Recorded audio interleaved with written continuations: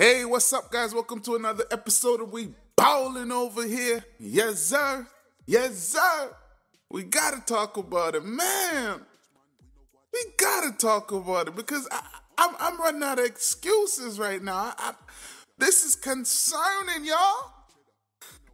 But before we get into that, you know what we gotta do? We gotta give respect where respect is due. So I gotta thank y'all for all the support, the likes, the subscriptions, all of that good stuff. You know what keeps this channel going? It's y'all. So thank you. All right, but let's get into it, man. What's going on right now with this team? One and five? The Toronto Raptors is one and five. I mean, yes, we're in the East. Yes, the season just started. But I'm I'm a little nervous. I don't like how this feels. I don't like how this looks. I don't like what I'm hearing. I just don't like it. I'm concerned, man. I'm deeply concerned. I don't like what I'm seeing, as I said. You know, this is a team that I know this is the championship team. This is this is just a few pieces removed from a championship. So I don't expect this type of drop off. There's players that got better that were on the championship team. There's players that was on the championship team that got finals MVP vote and they still on the team, man. What's going on? Nick Nurse, one of the coaches that was revered as one of the best in the whole NBA. What's going on? Oh my gosh, somebody please give me the answer. Come yo, get in that comment section. What's going on? Is it I'm asking, are they homesick? Do they miss us? Is it because they they they not in the city? They're across the border. What is it? What is it? I'm freaking out, Toronto. Come on, man. This ain't cool, bruh. This ain't cool. I'm not liking what I'm seeing. We have an uphill battle to climb. We ain't we ain't stepping on no throats right now. One in five ain't it? And getting that little one win against the Knicks is not it. I mean, granted, they are a better team. I uh, Thibodeau was doing a do amazing job, but no, no, we shouldn't feel like we did anything beating the Knicks. I don't care. That's still the Knicks in my mind. but man, I don't know, guys. I, I this is really like a a discussion we got to have on this one because I'm here wondering, like, I I know everybody's over there bashing Pascal, throwing him under the bus. He's unproven. He he's overhyped. He's not worth the money. Da-da-da-da, all that stuff. Trade him. Get rid of him. Give us James. All of that. I'm seeing it. I'm seeing it. But I'm not there yet. I'm still holding on to hope that Siakam will continue to get better as the season progresses. And hopefully I think the biggest thing for him right now is decision making.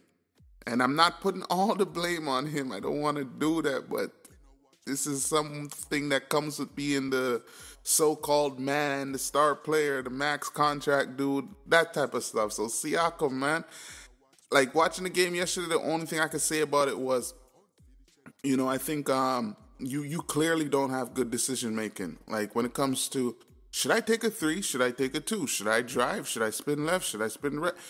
Bruh, bruh. Remember, Siakam, I haven't even seen a spin move all year, really and truly, when I think about it. Siakam, bread and butter, get back to it, bruh. You you do it. Yes, the game is expanding. Don't get me wrong. You want to show off some of the things you've been working on, but I don't know if it's winning us games right now, uh, and we ain't in situations where it's a blowout and you can, you know, like, come on, bro, we need winning plays.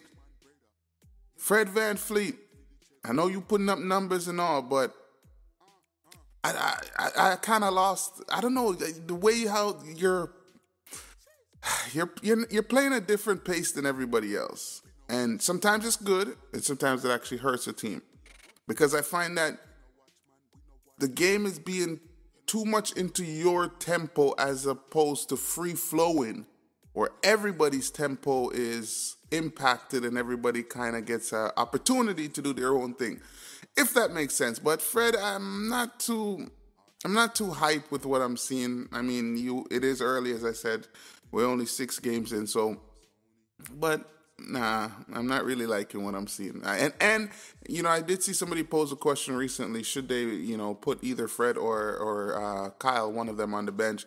And I'm starting to hear Nick Nurse say a bit more and more. He, that short lineup is starting to kind of annoy him.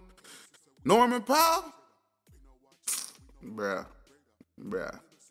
I, I, I don't even want to get on it because he he knows it's been Brick City all year. I mean, you had a one good game the other day, but Norm, come on, man.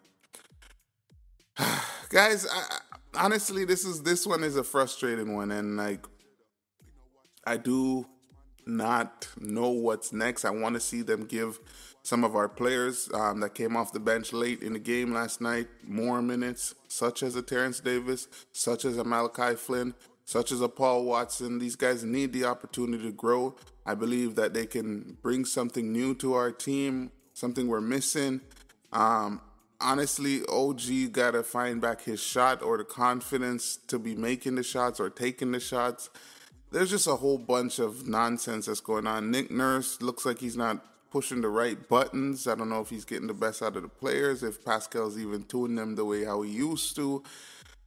I, I'm all over the place with this one, man, because I just don't understand what's going on with our beloved Toronto Raptors. Are they missing home? Is it that they miss the great city of Toronto? I live in Toronto. I know how beautiful Toronto is. Are they missing that hype of the fans? You know, I know you're supposed to build your own energy. You're a professional. You can't be worried about fans and whatnot. But I don't know what it is, man. This just doesn't seem like the same team. The guys around the team don't seem the same.